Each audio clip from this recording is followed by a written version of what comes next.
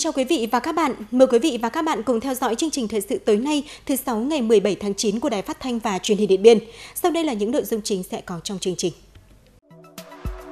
Bộ Nông nghiệp và Phát triển Nông thôn tổ chức hội nghị trực tuyến với các địa phương về công tác phòng chống dịch bệnh động vật các tháng cuối năm 2021 và đầu năm 2022. hiện dự án giải phóng mặt bằng hỗ trợ tái định cư cho các hộ dân bị ảnh hưởng bởi dự án đầu tư xây dựng mở rộng cảng hàng không Điện Biên. Tỉnh Điện Biên đã tích cực chỉ đạo các sở ngành liên quan và chính quyền thành phố Điện Biên Phủ đẩy nhanh công tác chi trả bồi thường cho các cơ quan, tổ chức, hộ gia đình cá nhân và tiếp nhận bàn giao mặt bằng Mỗi đứa trẻ được sinh ra như một món quà quý giá mà tạo hóa ban tặng cho cuộc sống. Đón nhận món quà của mình như thế nào để chúng có cơ hội sống một cách trọn vẹn đủ đầy là câu hỏi cần được tự vấn của mỗi bậc làm cha làm mẹ. Trời sinh voi, trời sinh cỏ, quan niệm xa xưa đã không hoàn toàn đúng trong cuộc sống hiện tại mà có lẽ đúng hơn với câu trời sinh voi, trời không sinh cỏ. Bây giờ là nội dung chi tiết. Thưa quý vị và các bạn, sáng nay Bộ Nông nghiệp và Phát triển Nông thôn tổ chức hội nghị trực tuyến với các địa phương về công tác phòng chống dịch bệnh động vật các tháng cuối năm 2021 và đầu năm 2022. Dự hội nghị tại điểm cầu Điện Biên có đồng chí Lò Văn Tiến, Phó Chủ tịch Ủy ban nhân dân tỉnh, lãnh đạo các huyện, thị, thành phố và các sở ngành liên quan. Theo báo cáo của Cục Chăn nuôi, từ đầu năm đến nay tình hình dịch bệnh trên đàn vật nuôi có những diễn biến phức tạp. Bệnh cúm gia cầm xảy ra tại 99 xã của 29 tỉnh thành phố, buộc phải tiêu hủy trên 373.000 con gia cầm, tăng 1,3 lần so với năm 2020. Bệnh dịch tả lợn châu Phi xảy ra tại 1.498 xã phường của 50 tỉnh, thành phố, buộc phải tiêu hủy gần 94.000 con lợn, cao gấp 2 lần so với năm 2020 bệnh viêm da nổi cục xảy ra tại 3.936 xã của 51 tỉnh thành phố, số gia súc mắc bệnh gần 188.000 con, số gia súc bị tiêu hủy gần 25.000 con. Hiện cả nước có 969 ổ dịch tại 183 huyện của 32 tỉnh thành phố chưa qua 21 ngày. Một số bệnh khác như lở mồm long móng có diễn biến phức tạp. Hiện cả nước vẫn còn một ổ dịch tại xã Kim Phượng, huyện Định Hóa, tỉnh Thái Nguyên chưa qua 21 ngày. Tại tỉnh Điện Biên, từ đầu năm đến nay, Bệnh dịch tả lợn châu Phi đã xảy ra tại 45 xã thuộc 7 huyện, đã tiêu hủy trên 3.000 con lợn với tổng trọng lượng trên 160 tấn. Nguyên nhân của bệnh tái phát là do chăn nuôi nhỏ lẻ, khó áp dụng các biện pháp chăn nuôi an toàn sinh học.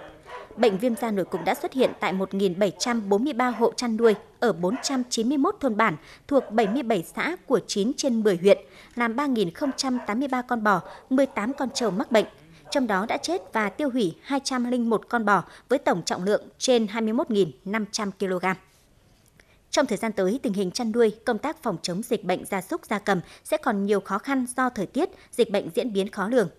Đại diện Cục Thú Y đề nghị các địa phương quan tâm tổ chức triển khai đồng bộ các giải pháp phòng chống dịch bệnh, trên cạn và thủy sản như đảm bảo tỷ lệ tiêm phòng cho gia súc tối thiểu đạt 80%, tổ chức giám sát, phát hiện sớm, kịp thời cảnh báo và xử lý triệt đề các ổ dịch mới phát sinh, hướng dẫn chủ chăn nuôi tăng cường áp dụng các biện pháp phòng dịch, tổ chức tổng vệ sinh sát trùng tiêu độc, tổ chức giám sát chặt chẽ việc tập kết, buôn bán châu bò, sản phẩm từ châu bò, xử lý nghiêm các trường hợp vận chuyển, nhập lậu qua biên giới –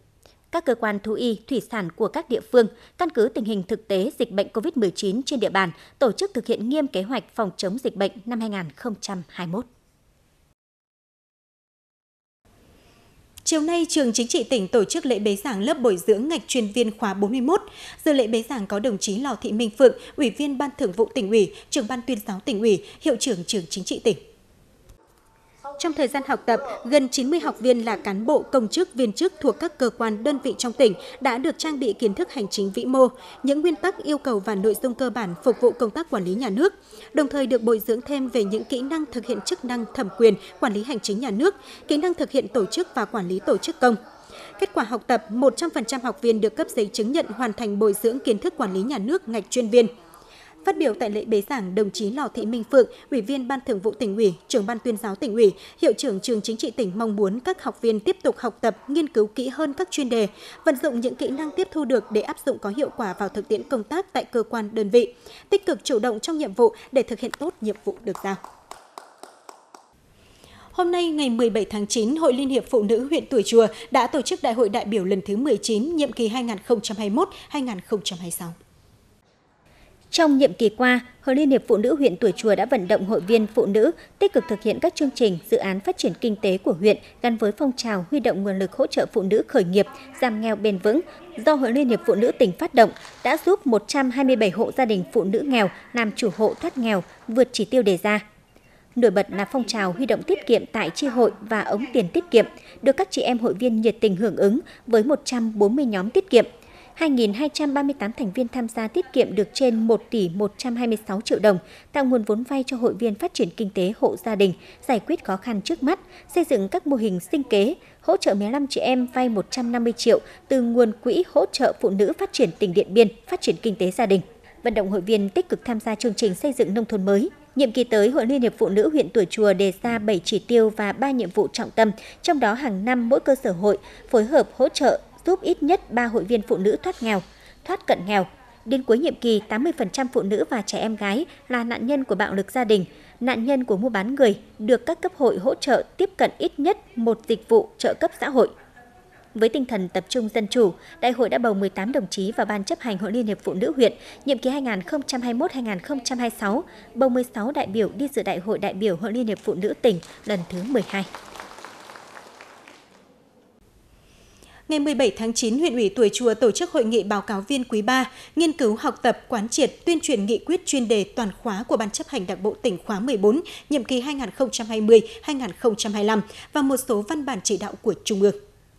Hội nghị đã thông qua 8 chuyên đề về các chỉ thị nghị quyết, chuyên đề của Trung ương của tỉnh ủy, trong đó có nghị quyết số 06 ngày 7 tháng 5 năm 2021 của Ban chấp hành Đảng Bộ tỉnh về tiếp tục đổi mới nâng cao hiệu quả công tác kiểm tra giám sát của Đảng trong tình hình mới. Quy định số 22 ngày 28 tháng 7 năm 2021 của Ban chấp hành Trung ương về công tác kiểm tra giám sát và kỷ luật Đảng Nghị quyết số 10 ngày 29 tháng 7 năm 2021 của Ban chấp hành Đảng bộ tỉnh về phát triển nguồn nhân lực tỉnh Điện Biên đến năm 2025, định hướng đến năm 2030. Nghị quyết số 12 của Ban chấp hành Đảng bộ tỉnh về cải cách hành chính, cải thiện môi trường đầu tư kinh doanh gắn với nâng cao năng lực cạnh tranh cấp tỉnh giai đoạn 2021-2025, định hướng đến năm 2030 nghị quyết số 08 của Ban chấp hành Đảng Bộ tỉnh về tăng cường sự lãnh đạo của Đảng đối với công tác nội chính, phòng chống tham nhũng, lãng phí giai đoạn 2021-2025 thông qua hội nghị nhằm cung cấp cho báo cáo viên những thông tin cần thiết phục vụ công tác tuyên truyền, từ đó tạo sự thống nhất về tư tưởng hành động của đảng viên, cán bộ công chức viên chức trong phát triển kinh tế xã hội, đảm bảo quốc phòng an ninh trên địa bàn huyện. Trong hai ngày 16 và 17 tháng 9, huyện Điện Biên phối hợp với Ban dân vận tỉnh ủy tổ chức tập huấn nghiệp vụ công tác dân vận, dân tộc, tôn giáo, xây dựng và thực hiện quy chế dân chủ ở cơ sở cho các đồng chí thường trực đảng ủy, lãnh đạo ủy ban nhân dân, thường trực mặt trận tổ quốc, bí thư tri bộ, trưởng thôn bản, trưởng ban công tác mặt trận các thôn bản của 21 xã trên địa bàn. Tại lớp tập huấn, các học viên được nghiên cứu những nội dung cơ bản, cốt lõi, tư tưởng Hồ Chí Minh về công tác dân vận và sự vận dụng của Đảng ta trong công cuộc đổi mới, đáp ứng yêu cầu thực tiễn của cách mạng nước ta hiện nay yêu cầu thực hành dân chủ ở cơ sở trong thực hiện chức trách nhiệm vụ của cán bộ công chức, thực trạng công tác dân tộc tôn giáo ở tỉnh ta và những vấn đề đặt ra trong đổi mới phương pháp dân vận, vận động đối với đồng bào dân tộc thiểu số và đồng bào có đạo trên địa bàn quán triệt các văn bản của Trung ương, của tỉnh ban hành về công tác dân vận, Nghị quyết Đại hội 13 của Đảng, Nghị quyết Đại hội Đảng Bộ tỉnh lần thứ 14, chương trình hành động thực hiện Nghị quyết Đại hội Đảng về công tác dân vận và các văn bản khác mới ban hành có liên quan. Thông qua lớp tập huấn nhằm giúp các học viên thực hiện có hiệu quả công tác dân vận và các nhiệm vụ chính trị địa phương tại cơ sở. Thưa quý vị và các bạn, thực hiện dự án giải phóng mặt bằng hỗ trợ tái định cư cho các hộ dân bị ảnh hưởng bởi dự án đầu tư xây dựng mở rộng cảng hàng không Điện Biên, tỉnh Điện Biên đã tích cực chỉ đạo các sở ngành liên quan và chính quyền thành phố Điện Biên Phủ đẩy nhanh công tác chi trả bồi thường cho các cơ quan, tổ chức, hộ gia đình cá nhân và tiếp nhận bàn giao mặt bằng. Phản ánh của phóng viên thời sự. Thực hiện dự án giải phóng mặt bằng hỗ trợ tái định cư cho người dân, thành phố Điện Biên Phủ đã phê duyệt 48 phương án bồi thường hỗ trợ tái định cư với tổng giá trị phê duyệt trên 413 tỷ đồng. Thực hiện chi trả cho 667 hộ gia đình cá nhân với kinh phí trên 280 tỷ đồng. Diện tích bàn giao mặt bằng trên 161 ha, đạt trên 80% kế hoạch. Để mà ờ, giải phóng mặt bằng thì tiền nông thì chúng tôi hôm nay đã ra phường Thanh Trường để nhận tiền đền bù chúng tôi nhận tiền về thì chúng tôi sẽ ờ, giảm mặt bằng ngay để chúng tôi ờ, giải tỏa cho đơn vị ờ, thi công. Hiện nay chúng tôi đang phối hợp với các phòng ban chức năng của thành phố tiếp tục tuyên truyền vận động người dân là phối hợp thực hiện trong việc giải phóng mặt bằng nhận tiền và bàn giao mặt bằng cho đúng tiến độ của dự án là sẽ bàn giao cho mặt bằng cho đơn vị thi công để đảm bảo theo đúng tiến độ. Khi có chủ trương đầu tư xây dựng mở rộng cảng hàng không Điện Biên, hầu hết người dân đều đồng thuận cao và phối hợp với các cơ quan chuyên môn tiến hành đo đạc, kiểm đếm, lập phương án bồi thường, hỗ trợ và nhận tiền đền bù. Nhiều hộ đã di chuyển tài sản, tiến hành phá rỡ, bàn giao mặt bằng cho chính quyền địa phương. Công tác bốc thăm, giao đất tái định cư đã được thành phố Điện Biên Phủ triển khai họp dân và bốc thăm từ trung tuần tháng 9. Đến nay đã bàn giao đất tái định cư cho 212 trường hợp. Cái đợt bốc thăm ờ, giải phóng mặt bằng này thì tôi thấy là ờ, làm rất là hợp lý và đúng quy trình và rất là công khai minh bạch. Ờ, chúng tôi cảm thấy cũng rất là yên tâm và rất là hài lòng. Ở đấy thì tôi thấy là thứ nhất là cái cơ sở hạ tầng rất là tốt, đường rồi là đường điện rồi hệ thống nước rồi cây xanh đã trồng rồi và rất là đẹp. Chúng tôi cảm thấy nếu mà chuyển đến đấy thì cũng rất là hài lòng. Tôi bốc xong thăm rồi thì giờ chỉ mong cấp trên là tạo được điều kiện hết mức để cho bà con nhân ta, ta lên ra chỗ tái định cư được càng sớm càng tốt. Trong tổng số 1.305 hộ dân ảnh hưởng bởi dự án, hiện nay tiến độ chi trả đạt trên 50%. Để đảm bảo tiến độ dự án và bàn giao sớm cho ACV khởi công trong tháng 12 năm 2021, Ủy ban nhân dân thành phố Điện Biên Phủ đang tập trung đẩy nhanh tiến độ thực hiện phê duyệt phương án bồi thường hỗ trợ di chuyển, chi trả kinh phí đền bù cho các cơ quan tổ chức và gia đình cá nhân thuộc phạm vi ảnh hưởng. Song song với đó là tiến hành bốc thăm chia đất để người dân xây dựng nhà cửa, ổn định cuộc sống.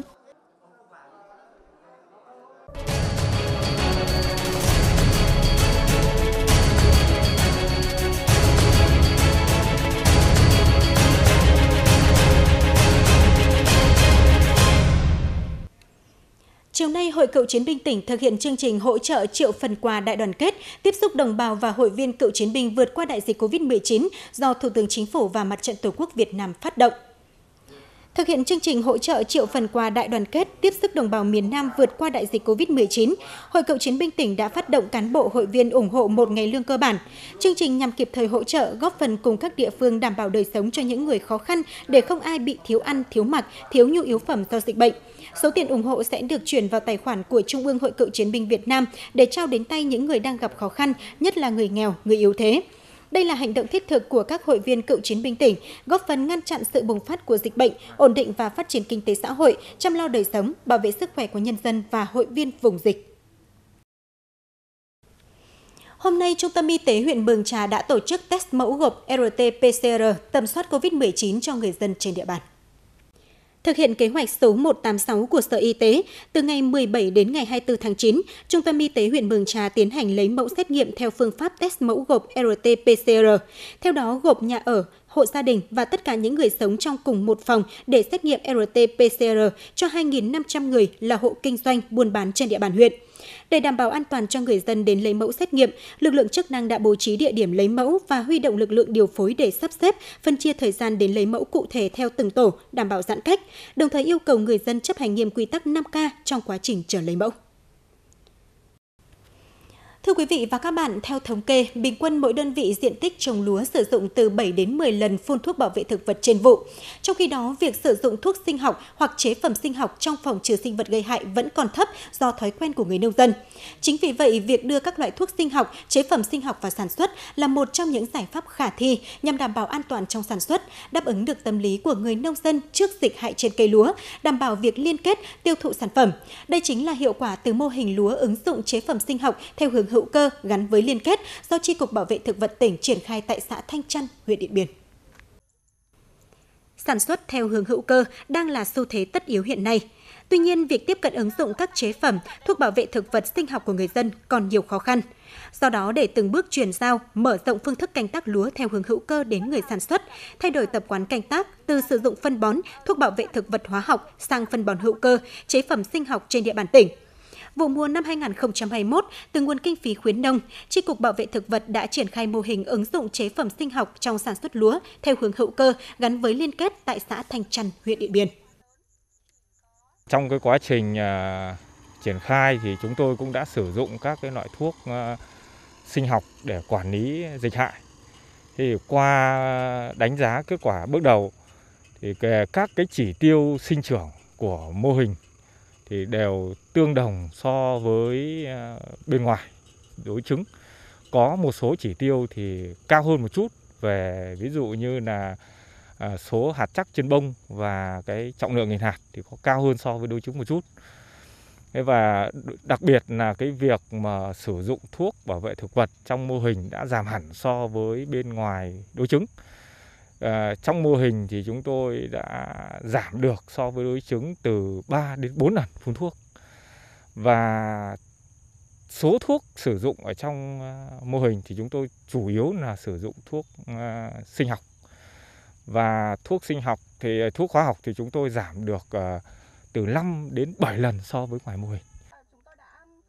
Tham gia mô hình có 59 hộ nông dân thuộc các thôn Thanh Hà, Thanh Sơn và Hồng Lích Cang của xã Thanh Trăn với diện tích 12 ha. Có 3 giống lúa được triển khai tại mô hình là sánh cổ, ST25 và sơn lâm. Tham gia mô hình, người dân hiểu hơn về sự thay đổi môi trường đất, độ pH lý tưởng của đất, tạo thuận lợi cho sinh trưởng phát triển của cây lúa cũng như sự phát triển của các vi sinh vật có lợi trong đất. Năng suất lúa mô hình ước đạt 70 tạ trên hecta, tương đương năng suất ngoài mô hình. Tuy nhiên giảm được chi phí gần 700.000 đồng trên một hecta so với ngoài mô hình. Số tiền dôi dư, người dân dùng cải tạo đất, nâng cao sức chống chịu của cây lúa đối với tác động từ sâu bệnh. Thực tế ra thì cái uh, thứ nhất là về cái sinh trưởng của cây lúa khi sử dụng các cái chế phẩm có nghĩa là sinh học mà coi như là áp dụng vào ấy thì cây lúa chúng tôi vẫn thấy là nó coi như là phát triển bình thường như khi mình có nghĩa là canh tác có nghĩa là truyền thống ừ. và đặc biệt qua quan sát trên cánh đồng ấy mà coi như là chúng tôi từ khi lúa gieo cho đến khi đến bây giờ đấy thì chúng tôi thấy là coi như là riêng đặc biệt nó có cái cái cái màu của cái cây lúa nó có cái màu khác hẳn cái cây lúa là chắc hơn khỏe hơn lá lúa dày hơn khả khả năng kháng chịu các cái bệnh tật đó, theo từng giai đoạn của thời tiết ừ, thì là nó tốt hơn Ừ, thực tế là có nghĩa là như cái chúng tôi áp dụng ở cái vụ này đấy thì như nhà tôi đấy như những cái vụ trước đây khi mình không sử dụng ấy thường thường tức là một vụ như vụ mùa đấy là mình phải phun tới có nghĩa tức là chục lần thuốc ừ. thế như nhà tôi có nghĩa tức là mình một là áp dụng và tuân thủ theo coi là cái sự khuyến cáo của bên kỹ thuật cái thứ hai nữa là qua cũng mình thường xuyên kiểm tra đồng ruộng và mình quan sát thì tôi chỉ phun mất coi như là bốn lần Ừ. So với các vụ trước là tôi giảm rất nhiều. Việc triển khai mô hình ứng dụng chế phẩm sinh học theo hướng hữu cơ gắn với liên kết sẽ góp phần nâng cao nhận thức của người nông dân về việc cải tạo đất, sử dụng các loại chế phẩm sinh học, đặc biệt là đối với một số loại phân bón, thuốc phun được làm từ chế phẩm sinh học mới lần đầu đưa vào sử dụng nhưng hiệu quả mang lại rất rõ rệt như phân bón hữu cơ Sumagro, đạm cá AQS. Cái này nó có có hai cái cái, cái tác dụng một cái tác dụng là nó có khả năng là giúp cho cái hạt giống của chúng ta là kích thích hạt giống nảy ờ, mầm nhanh hơn và làm cho cái hạt giống nó khỏe hơn ờ, ngay từ bước đầu thì chúng tôi đã sử dụng cái Summer Ground này để ngâm ủ hạt giống à, để, để giúp cho hạt giống này nảy mầm tốt hơn. Ngoài ra thì chúng tôi cũng sử dụng cái Summer Ground để bón ờ, bón bón lá để để tăng cái cái cái cái cái, cái khả năng hấp thụ dinh dưỡng của cái cái cái cái cây lúa đối với phân bón đặc biệt là chúng tôi cũng sử dụng cả cái đạm cá để để thúc đẩy cái cái quá trình mà uh, tích lũy dinh dưỡng của của cây lúa là giúp cho cây lúa khỏe hơn và cái khả năng chống chịu với với sâu bệnh cao hơn với việc sản xuất lúa theo hướng hữu cơ, tạo ra sản phẩm sạch, thu hút các doanh nghiệp liên kết tiêu thụ sản phẩm của người nông dân. Trong đó, công ty cổ phần thực phẩm Shepline đã liên kết bao tiêu sản phẩm với giá bằng và cao hơn giá thị trường đối với gạo sánh cổ và ST25, từng bước góp phần để người nông dân sản xuất đại trà, nhân rộng ứng dụng chế phẩm sinh học trong sản xuất nông nghiệp ở địa phương. Thưa quý vị và các bạn, mỗi đứa trẻ được sinh ra như một món quà quý giá mà tạo hóa ban tặng cho cuộc sống. Đón nhận món quà của mình như thế nào để chúng có cơ hội sống một cách trọn vẹn đủ đầy là câu hỏi cần được tự vấn của mỗi bậc làm cha, làm mẹ. Trời sinh voi, trời sinh cỏ, quan niệm xa xưa đã không hoàn toàn đúng trong cuộc sống hiện tại, mà có lẽ đúng hơn với câu trời sinh voi, trời không sinh cỏ.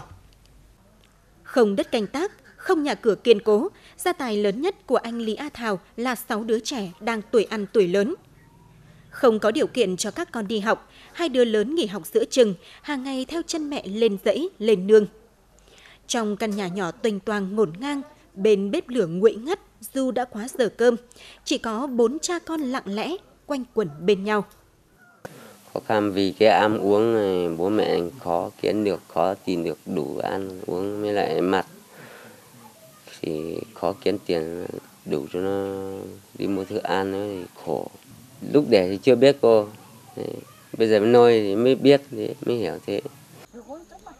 trẻ bận lo lên nương lên dãy phụ gia đình lớn lên lấy vợ lấy chồng sinh con đẻ cái vòng tuần hoàn ấy khiến cho nhiều thế hệ ở bản vùng cao này có chung một lựa chọn sinh đến 10 người con, thế nhưng bà Giàng Thị Nánh cũng không đủ điều kiện để chăm lo đầy đủ cho các con từng ngày khi con trai thứ tư của bà đánh phạm tội vướng vào vòng lao lý, để lại 7 đứa cháu bé thơ. Người phụ nữ ngoài 60 tuổi, bất đắc dĩ lại trở thành cha mẹ chúng. Cuộc sống khó khăn giờ lại đè nén thêm nỗi dằn vặt về tinh thần. Về thăm quê sẽ à, thầu Tôi rất buồn vì ngày xưa đẻ đông con, cuộc sống nghèo khó, trường lớp thì xa nên không cho các con đi học được. Thiếu hiểu biết nữa, nghe kẻ xấu dụ dỗ nên con tôi vi phạm pháp luật. Các cháu giờ ở nhà cũng rất vất vả vì cũng phải bỏ học về để giúp mẹ làm nương. Mang nặng quan niệm đông con, đông của vốn đã hằn sâu thành nếp, nhiều cặp vợ chồng mặc sức sinh con. Đây cũng chính là nguyên nhân khiến cuộc sống gia đình họ quẩn quanh trong đói nghèo, lạc hậu. Những đứa trẻ sinh ra, lớn lên trong thiếu thốn, không được chăm sóc, nuôi dạy chú đáo, nên hầu hết đều bị ảnh hưởng bởi suy dinh dưỡng, đau ốm, thất học. Đây cũng chính là nỗi chăn trở của các cấp chính quyền, ngành, đơn vị liên quan trên địa bàn tỉnh. Đối với người mẹ thì à, cái cái việc mà mang thai nhiều thì nó cũng sinh đẻ nhiều nó cũng ảnh hưởng trực tiếp đến sức khỏe của bà mẹ và đối với trẻ thì à, ảnh hưởng rất là nhiều đến việc à, à, chăm sóc cho trẻ trẻ sẽ không có đi chăm sóc thì nguy cơ suy dinh dưỡng và mắc các cái bệnh truyền nhiễm cũng cao và đối với những gia đình mà có hoàn cảnh khó khăn mà sinh nhiều con ấy, thì làm cho đời sống kinh tế càng khó khăn hơn. Về cái ờ, tỷ lệ sinh con thứ ba trở lên, đặc biệt là sinh con đông ấy thì phần lớn là sẽ ảnh hưởng rất lớn đến việc phát triển kinh tế xã hội của huyện. Mà hai này đến cái nhu cầu sống của các cháu sẽ ảnh hưởng, đặc biệt là cái việc mà bố mẹ gia đình mà quan tâm đến ờ, trẻ em thì phần lớn là nhiệm vụ phó thác cho giáo dục là chủ yếu. Nên là cũng làm ảnh hưởng rất lớn đến việc phát triển kinh tế xã hội và ảnh hưởng đến cái sức khỏe dinh dưỡng của các cháu trong ờ, tình trạng chung của cả huyện. Những đứa trẻ được sinh ra vẫn tự lớn lên, nhưng không ai có thể bảo đảm cho chúng một cuộc sống đầy đủ cả về vật chất và tinh thần, được sống trong điều kiện tốt nhất để có thể lớn lên, phát triển một cách toàn diện, ngoài chính những bậc sinh thành. Trời sinh voi, trời sinh cỏ, Câu ca quan niệm xưa liệu có còn đúng đắn khi chính những đứa trẻ đang phải sống trong nỗi nhọc nhằn? Phải chăng bởi chính những khoảng tối do những người làm cha, làm mẹ tạo nên? Phòng Cảnh sát Hình sự Công an tỉnh Điện Biên vừa phối hợp với Công an phường Nam Thanh, thành phố Điện Biên Phủ phá thành công chuyên án 921L, bắt giữ đối tượng Nguyễn Huy Cử, sinh năm 1981, trú tại thôn Đông Lai, xã Quang Tiến, huyện Sóc Sơn, thành phố Hà Nội về hành vi lừa đảo chiếm đoạt tài sản. Tháng 8 năm 2021, đối tượng Nguyễn Huy Cử sử dụng chứng minh thư giả tên là Nguyễn Gia Huy, hiện đang kinh doanh bất động sản tại thành phố Hà Nội cử hứa sẽ xin vâng cho con chị Lù Thanh Đê, trú tại xã Thanh Minh, thành phố Điện Biên Phủ, vào học tại trường trung cấp cảnh sát nhân dân với số tiền 380 triệu đồng. Chị Đê chỉ cần đưa trước 50 triệu đồng để làm thủ tục ban đầu, số còn lại khi nào xong việc thì đưa nốt. Sau một thời gian chờ đợi vẫn không thấy con mình được đi học tại trường trung cấp cảnh sát nhân dân như cử đã hứa, chị Đê phát hiện mình bị lừa nên đã tới cơ quan công an trình báo. Sau khi nhận được tin báo, cơ quan công an đã tiến hành xác minh, điều tra làm rõ hành vi lừa đảo trên và xác định đối tượng Nguyễn Huy Cử đã có hai tiền án về hành vi lừa đảo chiếm đoạt tài sản. Cơ quan công an đã lập tức bắt giữ và đưa đối tượng về trụ sở để đấu tranh làm rõ. Tôi à, lợi dụng với lòng tin của người dân, tôi đã à, gian dối về cái tên tuổi để không nhằm mục đích gì, nhằm ngoài mục đích để chiếm đoạt tài sản trong đó thì có 5 bộ hồ sơ 3 bộ hồ sơ xin việc làm và hai bộ hồ sơ làm bìa đất tổng số tiền là hơi trăm triệu tôi đã dùng cái khoản tiền đó vào tiêu xài cá nhân hết tôi nhận thức được hành vi của tôi là vi phạm pháp luật Lừa đảo xin việc, xin học, làm sổ đỏ để chiếm đoạt tài sản là thủ đoạn không mới, đã xuất hiện nhiều trên địa bàn. Để tránh tiền mất tật mang, khi xin việc, đăng ký đi học, đề nghị người dân nâng cao tinh thần cảnh giác, chủ động nghiên cứu, tìm hiểu kỹ thông tin và đến các cơ quan chức năng của nhà nước làm các thủ tục theo quy định.